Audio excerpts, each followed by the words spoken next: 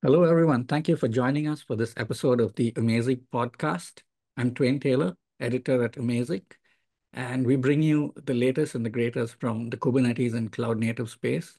If you're wondering who Amazic is, uh, we're a software distributor that works primarily in the EU region. Uh, so if you if you're listening to this and you're one of the vendors, you're one of the vendors that's building a product, uh, a software product that you want to get to market uh, and maybe reach more customers in, in the EU, then uh, get in touch with us. We can give you uh, greater reach.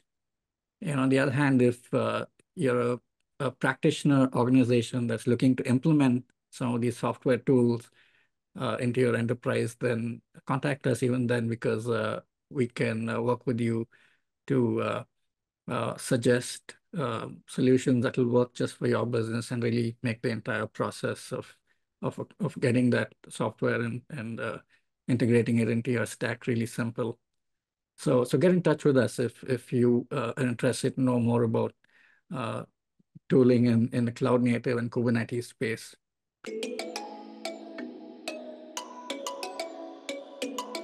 Uh, that said, uh, I, am excited about today's conversation we're going to be having with Matthew LeRay. He's the co-founder and CTO at SpeedScale. Uh, Matt, it's great to have you with us. Thanks for joining. How are you doing? I'm good. Not great to be here. All right. So, uh, Matt, yeah, we're going to talk about all things platform engineering today and a bit about uh, testing and simulation and all of those things. Uh, but before we get started, I wanted to ask uh, a bit about yourself, your background, and your journey up to founding SpeedScale. Tell us about yourself. Sure, sure. It's my favorite topic. Uh, just kidding. just kidding. The uh, so Matt LeRay, co-founder, CTO SpeedScale. Um, I spent have spent about 25 years in the performance space. So performance can mean application performance. Back in the beginning of my career, it uh, actually meant infrastructure performance um, like actually laying the cables for the internet, if you go back that far. Uh, so, but um, I worked at a bunch of the observability uh, companies and worked in that space for a long time. Um, and, you like, know, kind of. Which ones? Oh, I worked at uh, one, of the, one of the early ones called Wily Technology, which the founders of mm-hmm. Wily went off to found New Relic later as a connection. Mm-hmm.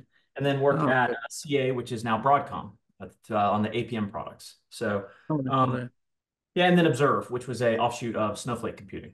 So, um, mm-hmm. so yeah, I guess that qualifies me to have an opinion about performance. Mm-hmm. But uh, so, uh, so yeah, so I've been doing that for a long time. I worked with one, my uh, my business partners and co-founders, uh, Ken Ahrens and Nate Lee. We worked together at various startups. Um, mm-hmm. Kind of, uh, it's it's germane to this conversation because how we came about you know, developing speed scale is also kind of how the, the market's developed a little bit around performance and uh, quality, I should say. So mm-hmm. um, we uh, we all did did some stint in the observability and monitoring space, and then uh, Ken and Nate went to a company called ITKO, which was a service mocking company. Now, if you're familiar with previous generations of technology, there used to be you know a heavy emphasis on testing. There's a lot of times manual testing, and whenever you run tests, you have to have something to uh, provide some sort of simulation of backend systems. And so the beginning of that was something called service virtualization. Uh, so what we did with SpeedScale is we took we took uh, service virtualization, that idea, that concept of automatically simulating backend systems, and then we also took uh, the idea of a monitoring agent that was always listening, and we put them together and figured out we could start envir uh, replicating environments. So we decided to start SpeedScale, and it's just been unlimited su success and riches since. And mm-hmm. if you believe me, uh, then uh, you don't know what startups are like. So uh, it's, uh, but we're, we're having a good time. It turns out that it's a, uh, it actually solves a real problem. So we're pretty happy with it. How long has it been? We did, let's see, we did Y Combinator about four years ago. So yeah, we've been around for a little over four years now. So 2020, uh, we have impeccable timing as a startup. So we started the company right before COVID. So uh, mm-hmm. follow me for more life tips or investment advice on uh, how, how to make everything extremely difficult in your life. So uh, yeah, we started SpeedScale right before COVID. You know, so the, the bad the bad side of that was that uh, obviously everybody shut down and we lo- maybe lost a year, right, in the way of thinking about it. But uh, the upside of it was is that it forced us to go into like a deep research mode where we could mm-hmm. really kind of come from the ground up on the on the overall problem and what we really want to do is not make another testing tool, not make another quality tool. Instead, do something that kind of hasn't been done before. And so uh, we got an extra year to think about it. So I see this is me looking at the bright side, always looking at the positive in things. So anyway. All right. So are you guys funded? Which round are you guys in? Which series? Uh, so we have done a, a, a fairly large seed round of around $10 million. We were backed by Y Combinator, as well as uh, Sierra Ventures and Tech Square Ventures, as well as uh, Soma Capital, Growtech, and a bunch of others as well. So we're West Coast and East Coast funded. Um, okay. I personally hail from. Uh, I, I, went to I went to school at Georgia Tech in Atlanta, and then went to Silicon Valley. So I was out there for many years. So I'm kind of from everywhere. All right. Wow, that's quite an intro. Uh, looking forward to hearing your thoughts on platform engineering because many of the guests we've had on the show uh, have been talking about it. So it's clearly something that really resonates with uh, people in the ecosystem. And uh, different different vendors are taking different routes to solve for platform engineering. And obviously, it is a complex uh, problem to solve, and there's many aspects to it. But the approach that SpeedScale seems to be taking is around environments, and particularly environmental replication.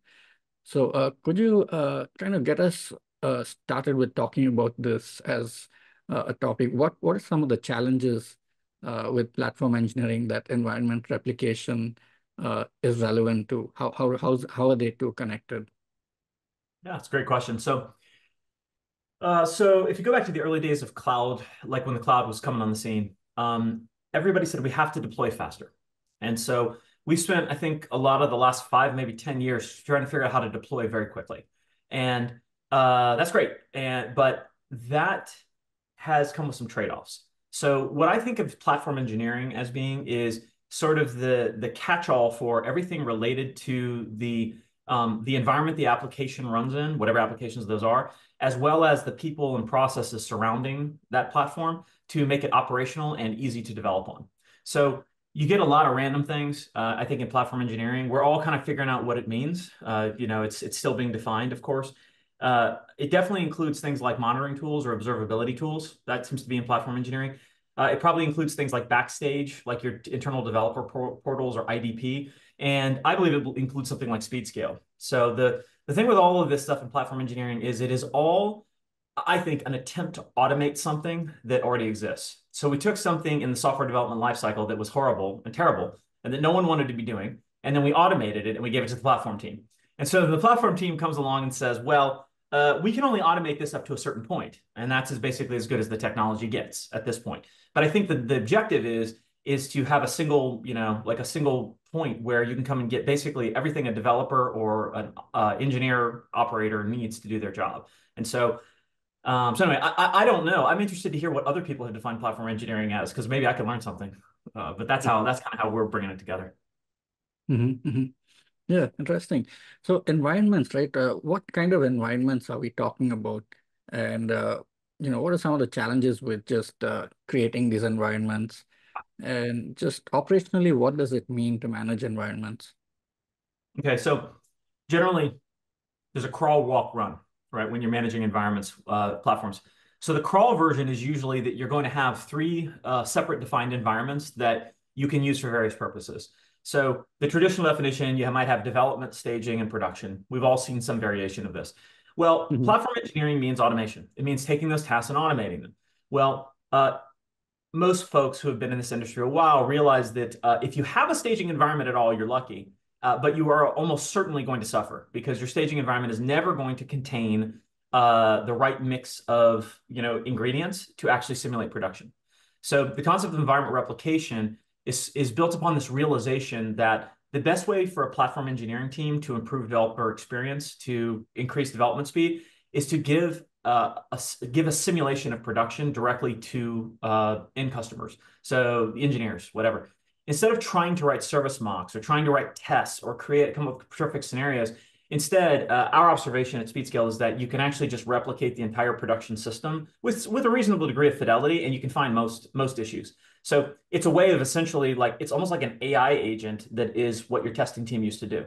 It goes and, you know, you can, if you use environment replication, you can replicate the scenarios that people use because you're actually looking at what real, you know, real people do in your app. Um, you can figure out how the databases are used, what's in them, but only what you need because you're only looking at a certain time frame. So the, the challenge of environment replication, to kind of come back to your point, is um, you have to replicate the infrastructure itself. So you have to say, if you use you know, AWS DynamoDB, you have to have a DynamoDB instance traditionally. So you need the infrastructure. If you're using something like Kubernetes, then you need, um, you know, you need a cluster to run on, and you need all the appropriate manifests that go with that. And then if you have me on the application side, you actually need all of the application data.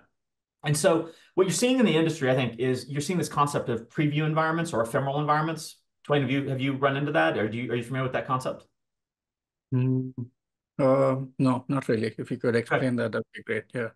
No problem. So what, what people said is they were in this old world where they had these three environments, right? Development, staging, and production. And they said, we got to get out of this because it's not automatable. And so what they said is, can we shrink those environments down? That's what a good scientist always does, right? Is you shrink and categorize things. And so people said, you know, reasonably said, well, let, us see if we can replicate staging. Well, it turns out that uh, replicating staging is like really hard because you don't have the right data. You don't have databases. You don't have licenses. You don't have like cloud infrastructure. There's too much stuff, right? And so you end up with uh, uh, you end up with these things called preview environments, which is essentially a platform. The platform engineering team provides a system that automatically spins up a small version of the application, and then you can run like a merge request through it. So like new versions of code, of like a developer is building something new before they develop, before they deploy it, they can spin up a preview environment that will contain a minimum viable version of data that they can run. And so that's kind of the next waypoint. When people say, I don't want to be on the static three environments that just sit around, I want these ephemeral or development environments or, or their uh, preview environments. There's all these words that are floating around that all mean the same thing, ephemeral, preview, uh, you know, stage or temporary environments. And so generally they'll put that in the CI pipeline or they'll start using those. Now, that's kind of where most of the industry is now. So they've, they've adopted Kubernetes or these cloud native technologies. They realize they can't have these static testing environments or static. It just, this whole idea of testing as it used to be just doesn't fit into cloud native technology. And so they end up with this ephemeral environments. And that's how we get to like the DORA report or whatever it is that says that about half of your cloud spend just goes to development environments that never go away. So if you ever look at most cloud spending, you know, cloud uh, cloud bills for most large organizations, general estimate from most of your big survey reports is about half of that stuff is just environment or development environments that some people left running. They have maybe a piece of their app in there. Nobody knows if they can really delete it. So with SpeedScale, you know, what we kind of figured out was that if you solve the environment replication problem and you set certain constraints around it, you don't need all that stuff anymore. And so you can start eliminating all that cloud, that extra cloud infrastructure that's always stand up for these environments.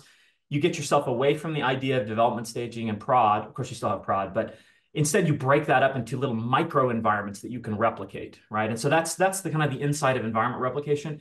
And the challenge, the principal challenge is usually just getting the right data in there. But there's a lot of stuff that has to go right uh, for it to work right.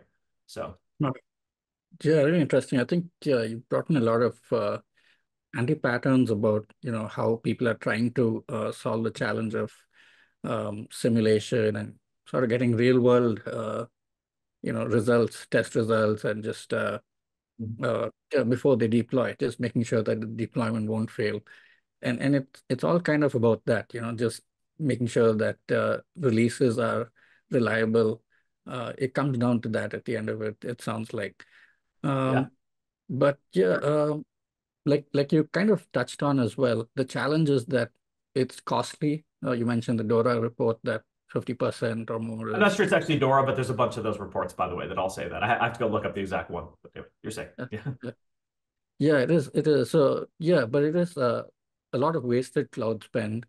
Uh, that that is an issue. And then we also talk about how uh, uh, there's a lot of uh, there's a lot of uh, sort of overhead that gets wasted because you need to like there's more to there's more clutter uh, across your stack um, mm-hmm. and um, and there's there's likely even performance hits because of you know uh, um, just badly architectured uh, infrastructure so yeah. so many different uh, challenges uh, but what are some of the right what's the right way to to simulate what's the right way to replicate and how do you get uh, close to real world close to production simulation? So the right way to replicate is to uh, chop the problem down into uh, something that's manageable. And the way you do that, and, and, the second is to stop trying to get humans to reproduce things and instead let them let the machines do what they're good at, which is uh, replicate behavior. So um, the first thing, uh, the first thing that you do to make uh, the problem of environment replication manageable is you limit your time frame.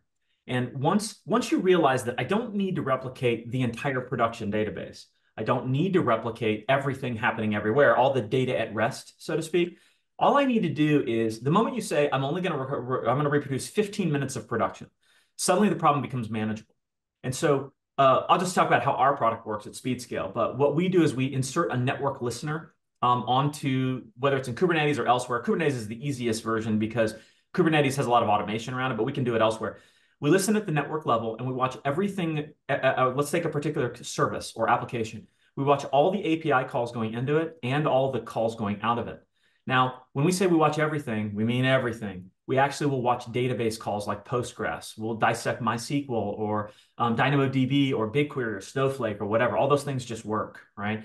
Now, what SpeedScale can do is say, I want to simulate just 15 minutes of traffic um, from my production environment, and I want to use it in various ways. Now, the hard part is copying the 15 minutes of production.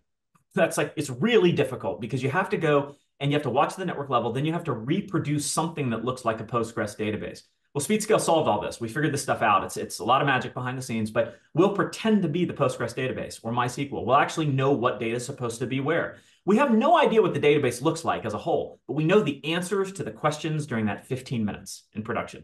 That's it. Well, now when you when you when you have the ability to dissect things that way, the environment, you're you're able to shrink everything you need to reproduce the environment down to a few hundred megabytes.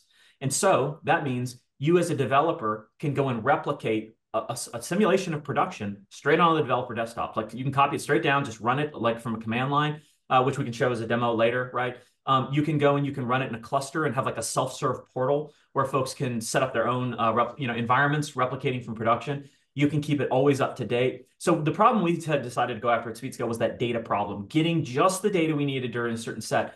And it turns out that there are many other problems. So I'll list a few of them out there because it's not just about SpeedScale. Um, one of the problems is standing up the environments. So you need like part of your your deployment tools to have like a, a test mode, special test scripts. Um, you know, another set of the problem is uh, is just provisioning the infrastructure correctly, um, like having infrastructure as code. Many of the organizations we work with are still, um, you know, working through their infrastructure as code journey. You know, and so that makes it hard because you can't stand up environments easily. Anyway, there's a lot of different ones, but we decided to focus on the data one because if you can get the data problem correctly, about 80% of the problem goes away. The other 20% is still there. But um, so getting a good copy is uh, is is the first part of environment replication that's very difficult. So. Hmm. I think probably one of the uh, sub uh, points under that challenge is uh, dependencies, right? Dependencies ah. across the system. Uh, so could you talk a bit about that? Like how do you manage to replicate the system accurately and surface uh, dependencies uh, that, that may be hidden? So, so that's a good question. So we start from a different perspective than what most engineers are used to, but platform folks understand. Uh, we start from the perspective of a, of a monitoring tool. So if you understand observability, then you'll understand part of what we do. So it turns out that humans are unreliable. I'm sorry to any humans listening. Uh, I include myself in this statement, but we are unreliable. We do not tell the truth at times, and we don't even know it. We don't even know that we're not telling the truth. So we just so we came at it a little bit differently. Um, if you look at the way that most software engineers develop things, is they go and they build a mocking engine, or they do sauce like service mocks. They go build a bunch of tests. That's very satisfying. It feels like you did some work, but uh, but I, I don't I don't think it's a great mode, right? Like a way, great way to do this thing. Um, so we started from the inverse of that. We said let's let's take a running version of the app, or maybe we'll read it from a spec, like a Swagger spec or an Open API spec, whatever. But we need to read something, and then let's go and uh, let's figure out how it works. Well, it turns out with all the, the commotion around AI right now, right, and LLMs, it turns out our approach was timely, let's just say, because as we observe the app, we can build a model of what it does. And mm-hmm. then we can go and, uh, uh, you know, we can make a model of what the app does. And then it turns out we can make a model of the dependencies too. So what we found, we kind of started off uh, with SpeedScale thinking, let's solve the testing problem. Like we hate writing test scripts. Um, you know, it's just not a lot of fun. Nobody wants to do it. But as we started studying it, we realized like just just watching the app, like starting from that perspective and like building the test scripts from what the app actually does, right? Or it actually happens. That's like valuable, but it's a lot more valuable to replicate those dependencies. And so I think you're asking a little bit of a leading question in a way, but it turns out that when you come when it comes to ephemeral environments or environment replication or preview environments, basically the dependencies are like 80% of the work because that's where your data is. That's what you get down, you know, called to. Um, now I already talked about databases a little bit, but uh, another aspect of it that isn't as obvious to folks is third-party APIs. So if you're developing, let's say you're developing a very common app where you have like a payment service, like a Stripe or something.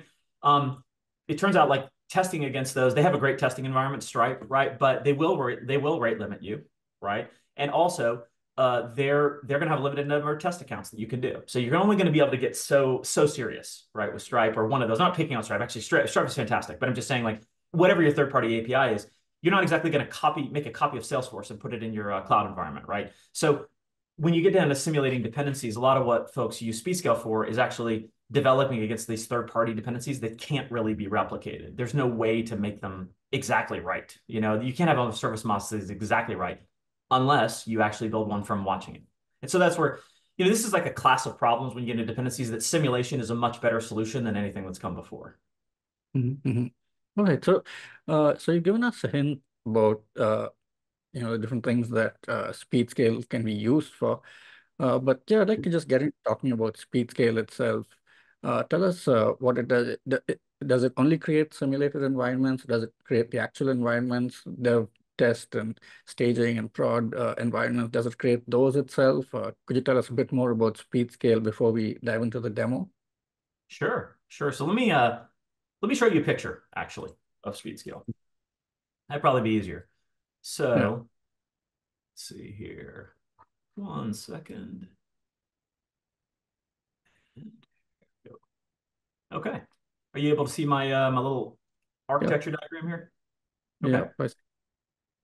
All right, so let me talk a little bit about how speed scale works. So um, speed scale, kind of rehashing a little bit, speed scale is an environment replication tool. And it can be bootstrapped a lot of different ways. You can feed it like Postman collections, but the most common thing to do is just to record a real running app. So think of it like training your model, right? You have to you have to let SpeedScale listen. Now, the easiest way to do that with SpeedScale is to install in Kubernetes. So if you're moving to Kubernetes, then SpeedScale is probably for you. you know, like it's, it's very well tailored. Um, we run something called a Kubernetes operator. Uh, now, I don't know if your audience, Twain, will be very familiar with a Kubernetes operator. Would they have some? Yeah. Yeah. I mean, uh, we talk a lot about Kubernetes and yeah, okay. uh, cloud native. Yeah. So yeah, that that I would definitely. Yeah. Yeah. Yeah. So your operator is kind of like your your sysadmin in a box or whatever, a person, you know, like a, a, a process that sits along and makes sure that speed scale things are happening. So when you install the SpeedScale agent or operator, the Kubernetes, if you're in Kubernetes world, it's called an operator, but think of it more like an agent.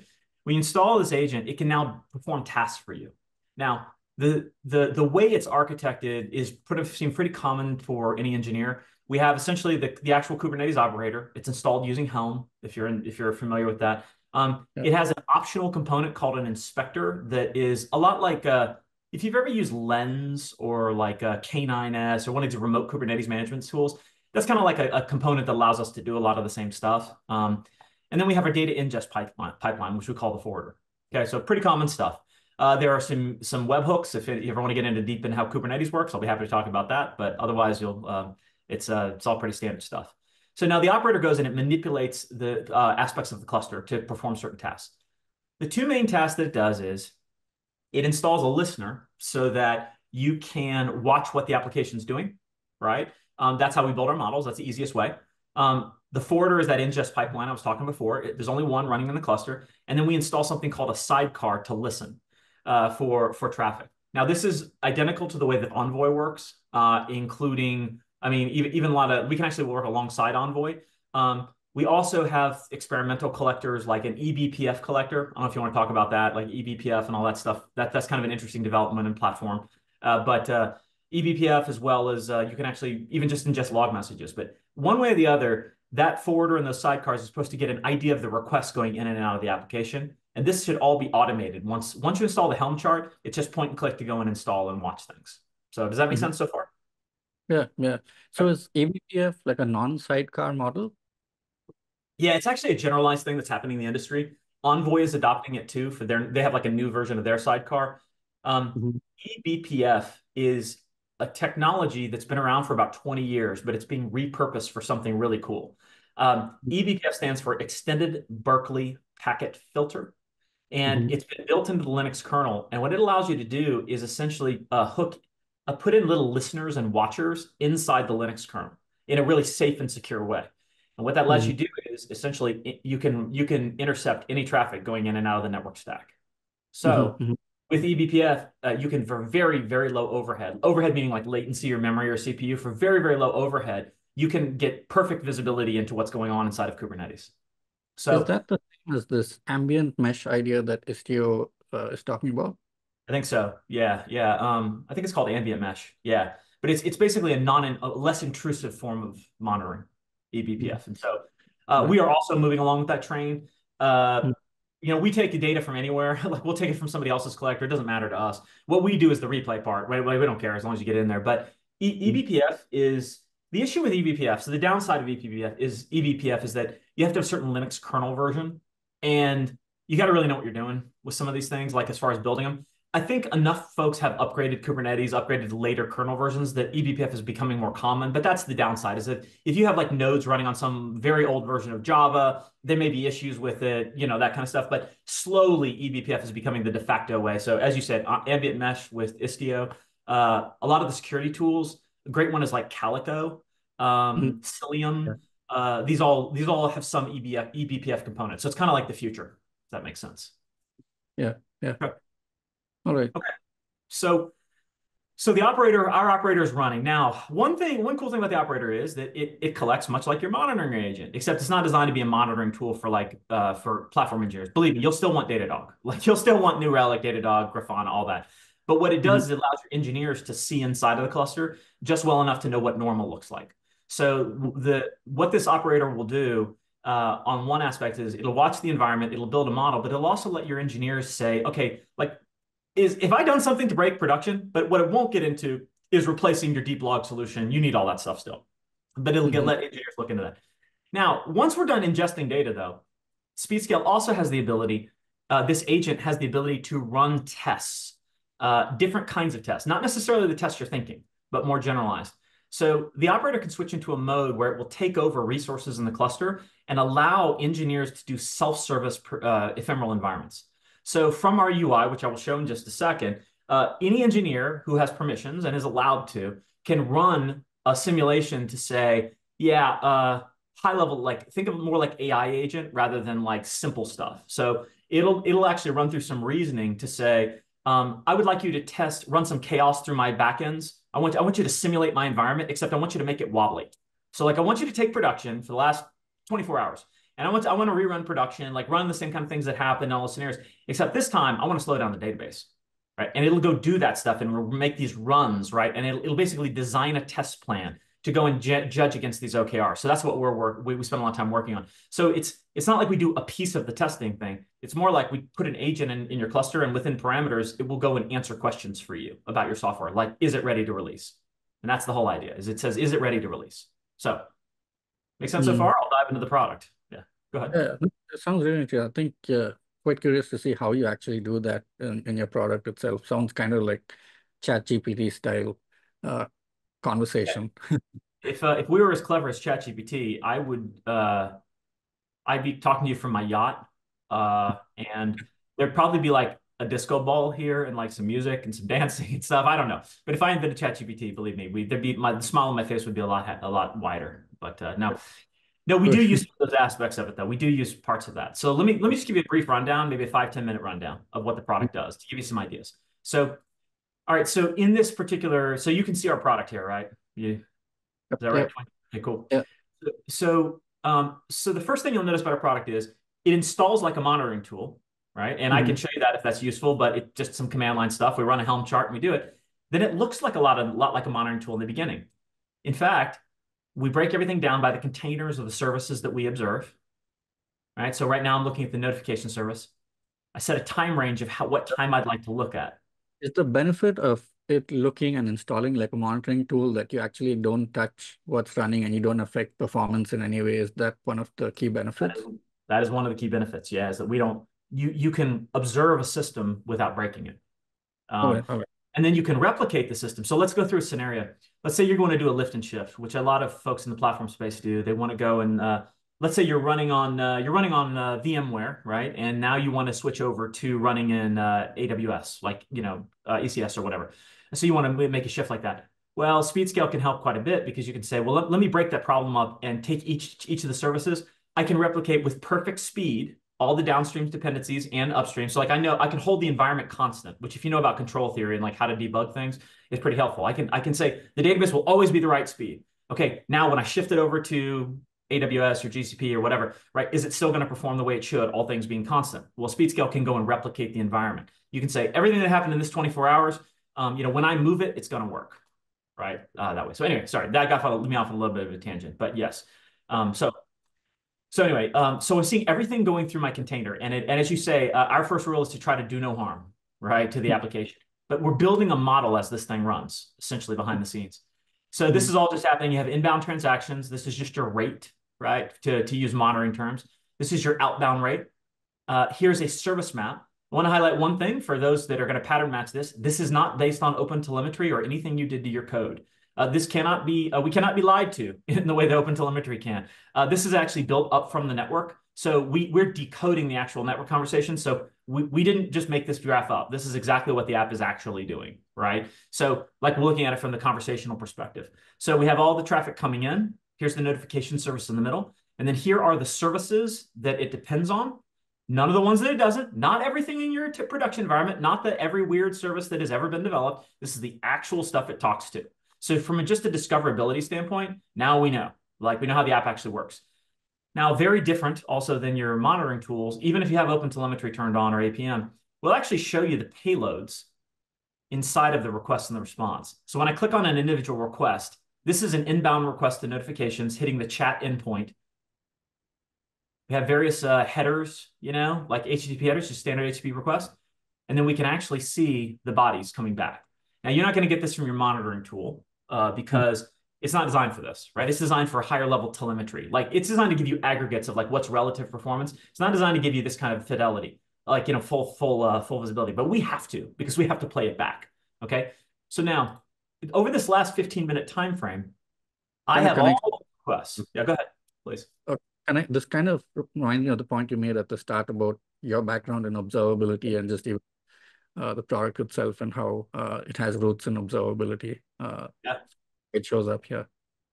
Yeah, yeah. Uh, well, thank you. It's uh, one of the things I really like about observability tools is they they have a really hard problem to solve. Uh, the problem that, and I'm I'm complimenting all observability designers because uh, it's very hard. Uh, is you have an infinity of data and like any kind of data you can imagine. And too many people coming in with different ideas about what they want to want to build or what they want to use the data for and trying to find some way to show it to people that makes some kind of sense is super hard. So people like hmm. they'll they'll ridicule a, a grafana or a datadog or a new relic but try it sometime it's pretty hard like to, to, do what they're doing. So anyway but uh, so we copy we copied that look uh, you'll notice elasticsearch all these tools look similar. This is not where we're innovating if you know what i mean. What we're innovating on is we show you data you don't normally have but it's in a way you you you recognize it if you're used to monitoring tools. You will mm-hmm. recognize a lot of these kind of views. So um mm-hmm. okay so i'm doing my monitoring here. So yeah, this is super interesting here. Uh how about we just do the last uh, 24 hours? So I want a full, a full database replica, a full inbound traffic replica of the last 24 hours. Okay, let's just save it. So I hit save, and that's it. I've replicated the environment. Now the processing is happening on the back end. Now in the SpeedScale cloud right now, a, a bunch of uh, anal analysis jobs are running, right? They'll, they'll, it, they'll finish pretty quickly. And now I will have a portable copy of 24 hours of production for the notification service that I can use in a variety of ways. Now, mm -hmm. First way is let's say you're you're coming from like a, a quality background, like software, you know, like you want to you want to replace your your the way you used to do testing. No problem. All you have to do is hit the replay button. Now, mm-hmm. for the Kubernetes folks, you may recall I talked about that AI or that agent or that operator running in the environment. Well, this mm-hmm. will cause our operator to take action and to start a set of simulations in kind of a, a pre-programmed script, right? Like a dance, right? A, a fully choreographed dance. So we'll go and we'll say, hey, we're, we're going to take over. Uh, let me grab one I've already got here.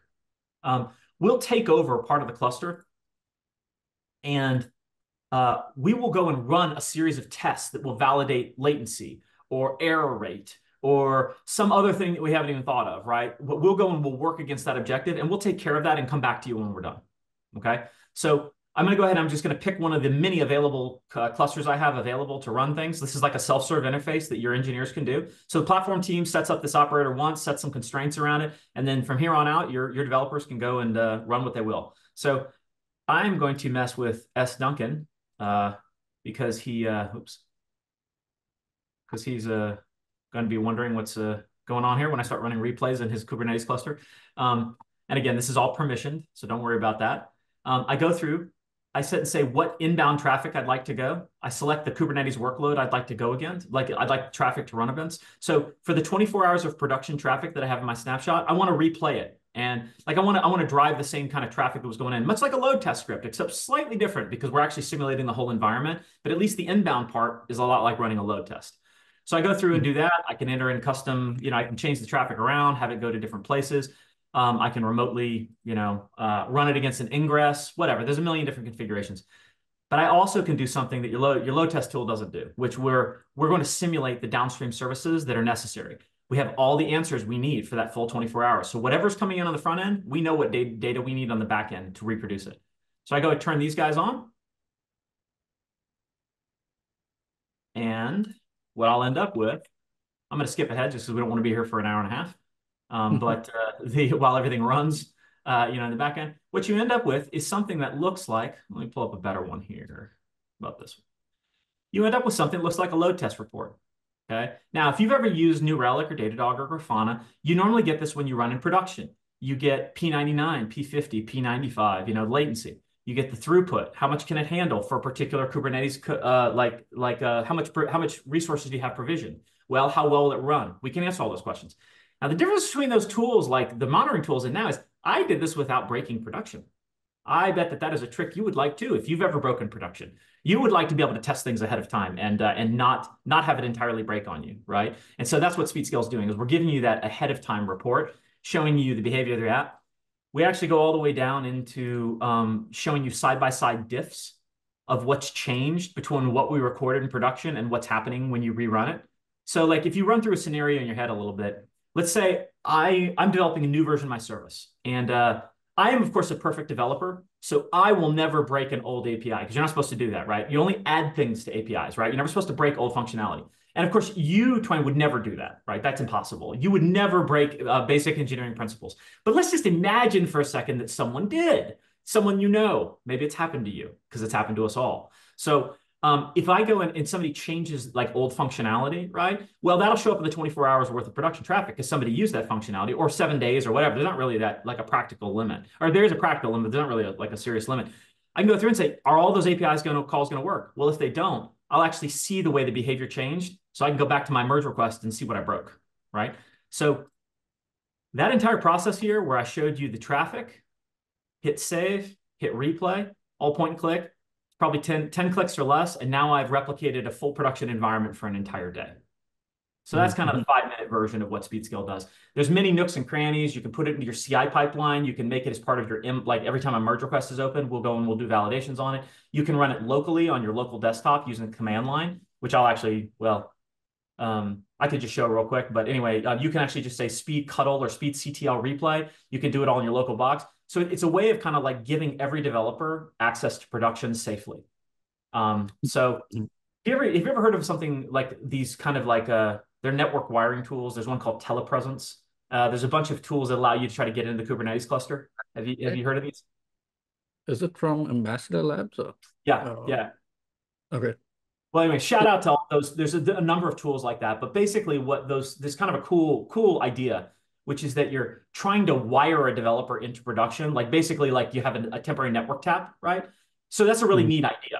The problem is that uh, like so basically that think about it, that's kind of what we're doing here. The difference is we're scrubbing the data for PII. We're doing all the kind of like dedupe, like there's a lot of uh, trap, like safety issues, if you know what I mean. You wouldn't want to just jack a developer straight into production. Uh, lots of weird things can happen. So we're making it a safe version of that. Um, we're allowing you to move back and forth through time. So one thing I didn't highlight is that we can go back in time like two weeks from now and pull pull something that happened in production and create an environment around it. So like we're not like we have all that stuff sort of stored. So we allow you to move back and forth in time. And then the second thing is we don't allow you to break things. So like if you get, you know, if you start messing with production, things are going to break. So so anyway, it's that kind of idea it allows you to like teleport into an environment, but safely. It's basically teleporting the environment to you. So anyway. Mm -hmm. Yeah, I think it's really cool that you can actually uh, start with something broad and figure out where something broke, yeah. even if you have no clue at all, and you know your system is really complex, and you you yourself are not sure of every nook and cranny of your own system. You can just zoom out and you know pinpoint roughly where the issue is, and then you know uh, use some of those observability uh, features to be able to drill down to exactly where and what's happening in really quick time and probably in minutes. Uh, that's really cool. That's very powerful. Yeah, just uh, the first time I ever uh, we knew we kind of had something that was kind of neat was uh, I had a problem in our production system, and then I I replicated it and I ran it in Visual Studio Code because uh, I had to move off them because my fingers just don't move as fast as they used to. But anyway, so and, and actually was able to like replay it over and over until I fixed the bug. So it was like I was replaying the same thing that had caused the breakage, right? Replaying it again and again and again against my local debugger to figure out what was going on. That's the kind of stuff you can do, you know. So anyway. Mm. Uh, uh, yeah, we're winding down, but one of the last things I want to ask is, are there any uh, ways that uh, SpeedScale could help with cost cutting, reducing the number of environments, anything on those lines? Yeah, so the the first thing that we can do with SpeedScale is stop is stop the expansion. So uh, what we're what we're going through right now with a lot of companies is they'll put us into their developer portal, and then they institute they institute SpeedScale as a way to spin up and spin down environments right on the fly. And so mm-hmm. when you get in that habit, the the environment growth uh, starts to slow down.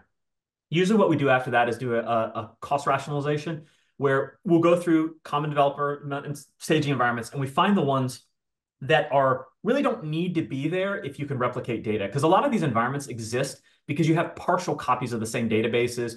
You know, you, you didn't have enough like leeway to copy all the dependencies, so you got a few of them working. You know, or you just were trying this one thing, you never spun it down. So then that comes kind of comes from an audit. So we do kind of a, a quick start with folks where we'll go and figure out where the low hanging fruit is that we can knock down, and then eventually we'll start spinning down a larger, kind of as a bigger project plan where we come in and we'll uh, we'll help you start spinning down the rest of the environments. So um, yeah, we work with a lot of companies on this. Uh, the cost savings angle is the one that a lot of folks are focused on right now because everybody's trying to cut costs and get more efficient. And this is an easy way to do that, you know, um, both immediately as well as kind of getting in the muscle habit of not not exploding your cloud costs over time. So, yeah, we like to end with just talking about, uh, you know, what's ahead for uh, your product or just the ecosystem itself. Uh, but yeah, what's next? What's coming up, even if not for a specific feature uh, or, or uh, something that you can't talk about, but at least a broad direction of where uh, you know this this is all headed towards simulation, yeah. replication, and uh, platform engineering. What's next? Yeah, so there's a couple things that are really exciting to me right now. So mm-hmm. uh, SpeedScale has this concept of an agent that runs things for the purposes, you know, run, runs runs environments essentially, very similar to like the AI agents, right? So a lot of what's going on in uh, the development of AI is really handy to us because it turns out that reasoning about data is a is something we do a lot of. Like we reason. I'll give you an example. In the old in like the old days, you would say, well, let's fuzz a field, right? Let, let's go and say we have email addresses. So let's try to break our app by giving it lots of weird email addresses, see if we can break it, right? Well, generative AI makes that problem a little bit more interesting because you can say, I don't just want to fuzz data. I want you to look at the existing kind of data and figure out uh, figure out like weird edge cases. Like LLMs can do stuff like that. That's way more useful, right? They can also make reasoning and decision make uh, decisions. Like what one of the things we're working on, and again, I don't want to steal too much thunder. We'll, we'll talk more about it later. But when you do run over run comparisons, uh, a lot of what that the labor involved is actually humans just reading reading events and graphs and trying to stitch things together in very common patterns. Turns out a lot of that stuff's been documented, and and uh, AI models are very good at figuring those things out, right? Now, there's when you get into the observability and monitoring space, it's hard to apply those models because everybody's infrastructure is so different, right? It's so hard to find those models. It turns out with something like SpeedScale, it's easier because we control the inputs and outputs. And because we can control a lot of the variables, like we can say the database will always run it at the same speed, or this will always happen in exactly this way, like we can control these variables. Turns out that once again, uh, generative AI can be quite handy in re uh, reasoning about where to take it. So from our perspective, when we get into that agent concept, what we want to do is stop saying, we want people to stop thinking about software quality as, as like a series of tests and things you do, and instead saying, here is an agent, a SpeedScale agent in our case, but an AI agent. You go and figure out which one of my dependencies is a problem for me. Like I want you to run a bunch of tests And I want you to cycle through and inject chaos into different places and figure out where my weak points are. Where's my connection code broken? Things like that. That's where we're going with speed scale is past the basics of like, let me test functionality into, I have a fully autonomous tester and the autonomous tester is doing things for me. So that's where we're going. That's where it's exciting. And that's where you kind of get into the, um, I can buy a tool like SpeedScale and seriously save 24 hours worth of work. Like you can literally do that, right? Because you don't have to design all those tests and come up with the mess, modifying the test data and doing all this weird stuff because we're seeing the model, we built the model, we can tweak the model, right? So it's easy. So that's kind of where we're going on that. The second area of very interesting things to me is it's still very early days with generative AI uh, for companies. So what it looks like to me, because I study this quite a bit, is that with AI, there are going to be big winners in the AI space. There's ChatGPT and NVIDIA and whoever else comes along with them, you know, Mistral and all the other ones. Whoever wins that battle, that's that's something else. But I think what, what I'm seeing a lot of the big corporations doing is they are trying to use their own proprietary data to train models. And so what's happening is there's an explosion of consulting houses that are specializing in AI projects, which really are the new version of like data aggregation projects. They're trying to aggregate their data. And once they do that, then they make AI models. Well, the thing that's interesting about that is somebody's going to have to run all that stuff. Uh, all the all what they call so in the AI world they call it inferencing, but inferencing or like inferences, you know, mean like running the model basically, not not training or building the model, but running it. I think there's going to be a lot of action around running these models, and I think there's going to be an explosion in innovation around uh, things like OpenAI uh, and other kinds of AI frameworks, where someone is going to come out come up with like a standard of how to operationalize a lot of these AI, AI workloads, like standardized workloads. And I think there's going to be a lot of action around that. And I think that that is, from an industry standpoint, we're going to move beyond this LLM, like the, the, the, the pocket of LLM. And when it spreads out into all the companies doing it, it's going to turn into a, just a bonanza of cool AI problems and like weird performance issues and like strange applications. Even what we're doing with SpeedScale, where we're taking these LLMs and we're using them for decision making, you just get all these cool problems you didn't have. So as a technologist, I think the next five years are going to be really, really exciting uh, around operationalizing AI, not getting into theory. And I mean, that's for uh, Sam Altman and those guys, and God bless them. Good luck. Good luck with all that. But the rest of the economy, what we're going to be doing is figuring out how to apply these things. So those will all be very exciting. Wow, you said it like a VC. Uh, really cool conversation. I do uh, not but... have enough money to be a VC, nor do I am I stylish enough. So shout out to the yeah. VCs. But but really interesting opinions and observations there. Uh, before you go though, Matt, uh, you have an interesting hobby that we were chatting about just before uh, the, the podcast uh, began. Uh, I was wondering if you can tell us a bit about it and even show us one of your creations. Okay. All right. Well, so my hobby and my creation, what I like to do is uh, I like to make guitars, like build guitars. So I have a rudimentary understanding of woodworking as well as uh, plastic shaping, et cetera. So what I like to do is uh, every time we hit a milestone as a company, uh, we make a new guitar as a team. So it's like we all get together and we take all of our skills. So the last guitar we made was, I will show you, which was, this is the last speed scale guitar. And so what makes it special is that we carved the speed scale logo on the back, we burned the logo on the front, and then we made, made big chunks of this guitar. So the next one we're building right now uh, is very, very metal uh, for those in music. Uh, it is made out of uh, it is made out of uh, epoxy resin and and glass and like glass and like it has LED lights and all. So we're we're taking to the next level with the speed scale guitar. Uh, this next one. So um, if you like working on guitars, then come work at Speed Scale. We are hiring. So anyway. Well, that's a cool way to celebrate milestones. Is the next one a flying V or something?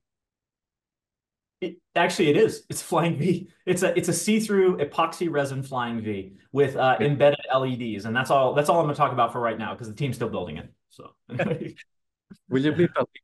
Uh, will you be talking about it on your blog, the Speedscale blog? I I don't know. I guess maybe I will. I don't know. I guess so. Uh, they're probably going to be pretty proud of it because uh, what they're planning is is uh, is is well. Let's just say they're going to have to get someone a lot better than me to play it because it's going to be too cool for me. So anyway. Can't wait to see it. Uh, thanks so much, Matt. It was lovely talking to you. Uh, we hope to come back soon for a part two. All right. Thank you. Thank you for having me. Thanks to all of our listeners and viewers for tuning in. And we hope you enjoyed this conversation with Matt as much as I did. And we'll see you on the next one. Bye bye.